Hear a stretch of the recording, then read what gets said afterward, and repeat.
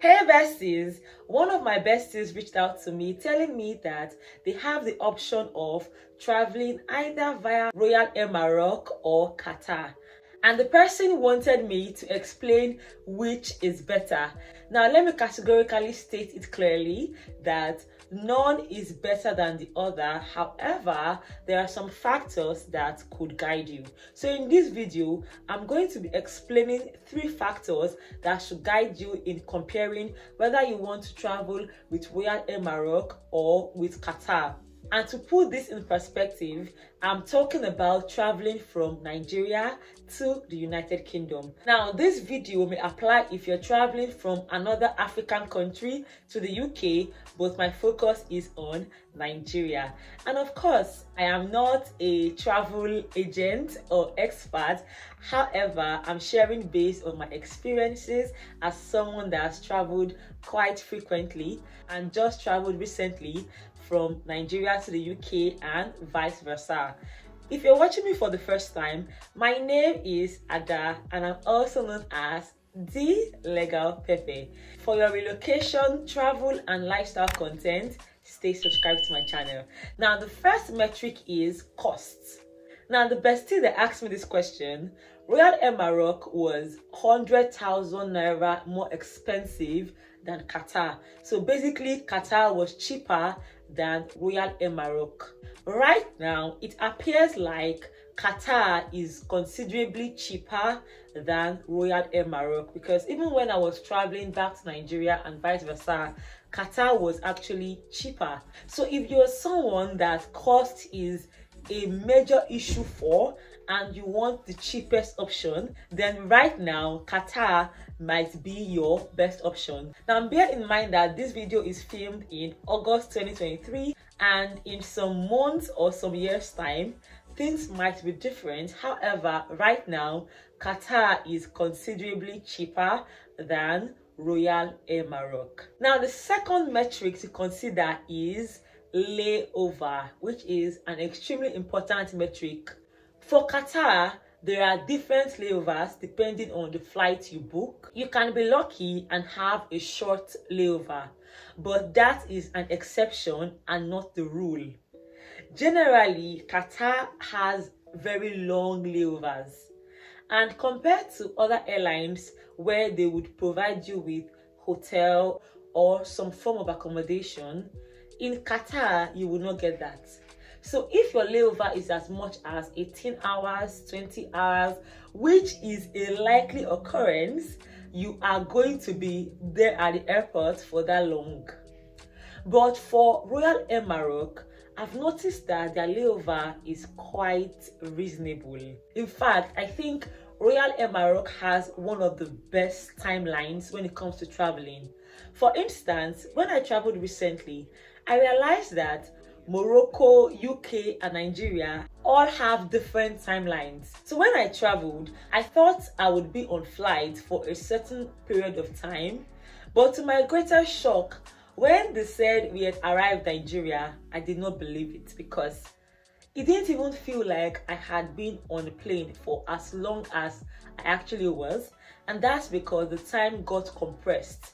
If you are a frequent flyer, you would understand what I'm saying. So a flight using Morocco, let's assume it's going to be six hours. Because we have different time zones, you would realize that you may have used just four hours and not the full six hours.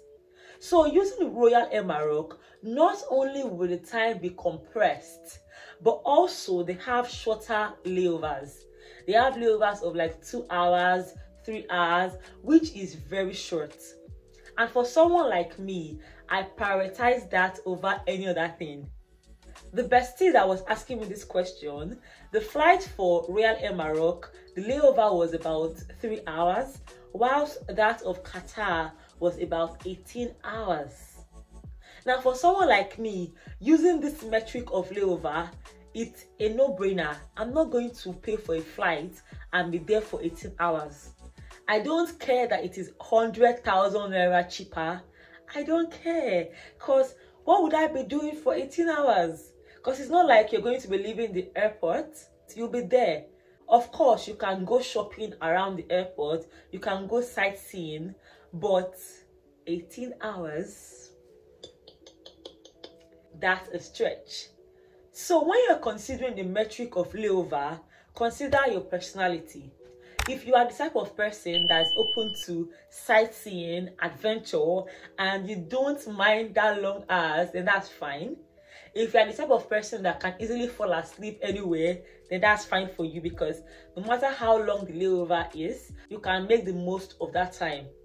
But if you're the type of person that prioritizes your time, your sleep, and all of that, then I think Royal Maroc is a better option.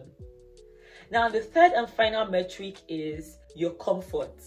So I've done a video where I flew with Royal Air Maroc and I said it clearly that your comfort is not as prioritized as it should be. For instance, in Royal Air Maroc, at least if you're flying economy class, basically what I'm saying applies to economy class.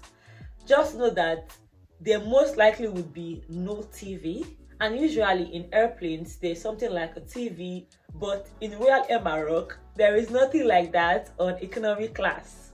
Not only that, there is no place for you to charge your phone. So if your phone dies or anything like that, that's it. You can't charge your phone. There is nothing like that. So once you are on the flight, just stay till you arrive at your destination.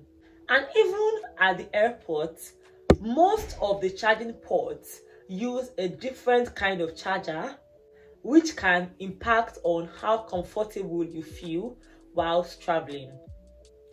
I have already done a video on Royal Air Maroc and in that video I expressed how you can make yourself as comfortable as possible such as getting a power bank, such as getting the kind of charger that can easily access any port also, I made it quite clear that the food they served in Royal Air Maroc was not it at all.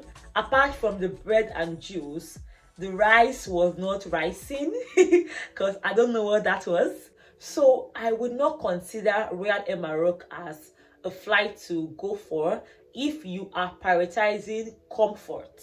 Don't worry, before I finish this video, I would explain some categories of people and the flights they should consider being on.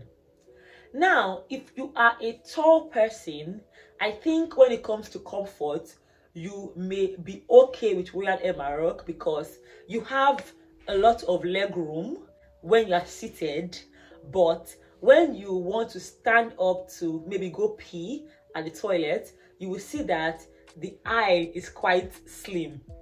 So I think Royal Air got comfort right when it comes to your sitting position, but when it comes to you leaving the airplane, they didn't get it right. Now let's compare it to Qatar. Qatar gives you comfort. When it comes to a space for you to charge your TV, that is good. And their food is also quite decent. So I think Qatar gives you more comfort if you're all about feeling as comfortable as you can be whilst flying. Now, let's explain various categories of people that I think should pick Qatar over Maroc or Maroc over Qatar.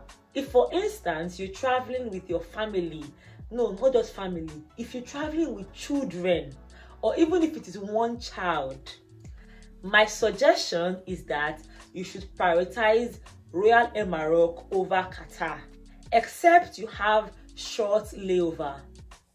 Now, remember that if the layover is much, you're not going to deal with just yourself, you will also deal with your kids. And we all know that kids can be restless when they are in the position for too long. So it may be a very stressful journey for you if you have to battle kids screaming for hours. So as much as you may have more comfort, think about the layover and decide for yourself if it is even worth it. So I would suggest that for families, especially with kids, Royal Maroc will be a great option.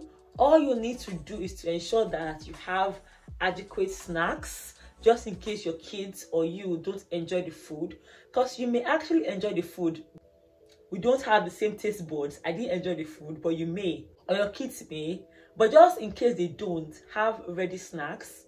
Also if you are traveling with royal air maroc and you have kids i would advise you to have things like games installed on your phone or movies or something to keep them occupied. Because you have to create the comfort for them and yourself. So obviously it goes without saying that you should have your power bank fully charged. So of course, it may not be the most comfortable flight, but you know that within a certain period of time, you would arrive at your destination. Now, for people who are single, you are going alone, it now depends on your personality and also your budget if you are working on a tight budget and you don't mind the inconveniences that may accrue to a long layover, then please use Qatar because it may be cheaper and you just get to explore and have fun. If you are anything like me, use Real Air and that's because you are going to maximize your time so any level of discomfort that you experience, if at all, it is going to be for a short time. And because of extra costs, you would not elongate your time. Because for me the way i see this thing time is money. Like i rather cut short the time i spend doing something if it would give me more time to do other things. Because for me that 18 hours that i will spend at the airport would be enough time for me to get familiar with my environment so that's that I hope I've not forgotten anything. I don't think I've forgotten anything, but if there is anything you would like me to throw more light on, please put it in the comment section. Also, if you've flown with either Qatar or Royal Air Maroc, please put it in the comment section. Remember, this is not a battle. This is not a case of saying, one is better than the other. No, we are just sharing experiences. And this is the same way I explained to my bestie that asked that question all of these options. And of course, it's up to them, just the same way it's up to you to decide on which one you would prefer to go with. Now, if you've enjoyed this video, I've put up a playlist that addresses various content such as this. And I'm going to be seeing you besties in my next one. Until then, stay blessed, remain happy, and if you are en route to the UK, I wish you safe journey and all the best. Bye guys!